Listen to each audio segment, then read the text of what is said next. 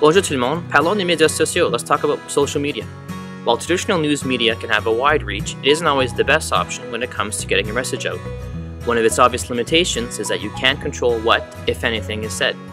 The media may be silent on a story that you feel is important to your community, or their version of the story may not be fully accurate or include your point of view. The best way to tell your story when and how you want it is to tell it yourself, which is where social media can help.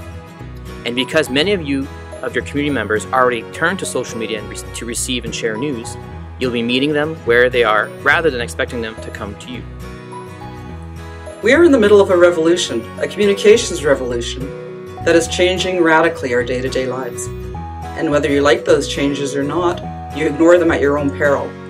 If you want to inform and engage others, something that is a fundamental goal of every school board and member trustee, you should take the plunge into social media.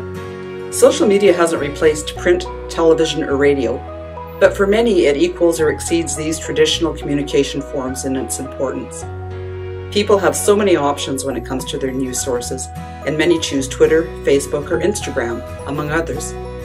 But don't think of social media as something that you have to do to satisfy someone else. Embrace it for the very real benefits it can bring your way. Among those benefits are reduced communication costs, the ability to reach people over a wide geographic area, and the ability to send customized messages right to people's inboxes or feeds. But more than anything else, Social media allows you to tell your story in your way and on your schedule. One of the great benefits of social media is its immediacy. You can communicate on a moment's notice. However, that same benefit can be a problem. Don't post in anger and always think twice, post once. Here are a few other tips if you or your school board are just embarking on a social media journey. Ask yourself the question, who am I and why am I posting? and let your answers to those questions guide you. If your primary goal is to keep in touch with your family, don't expect your constituents to show much interest in your posts, and vice versa. Some people do a very good job of creating accounts that are engaging for both their personal and professional contacts.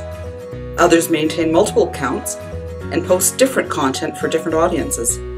And some, unfortunately, don't give this matter much thought at all.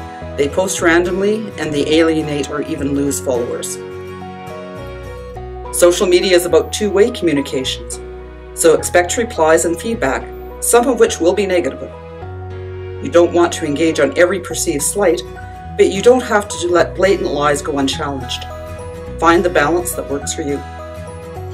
There's a more relaxed, comfortable, and conversational tone on social media, but remember, keep it professional and don't post anything that may come back to haunt you. Social media is a commitment, if you want to build both a following and credibility, communicate often. You won't build an audience through once a month postings. One final note for board or divisional social media accounts. Make sure the responsibility and the login credentials are given to someone with the time, interest, and good judgment required to make your social media venture a success. This may mean assigning the job to an individual, not a position, Find someone who wants to and would be good at going social and help them work to get your message out.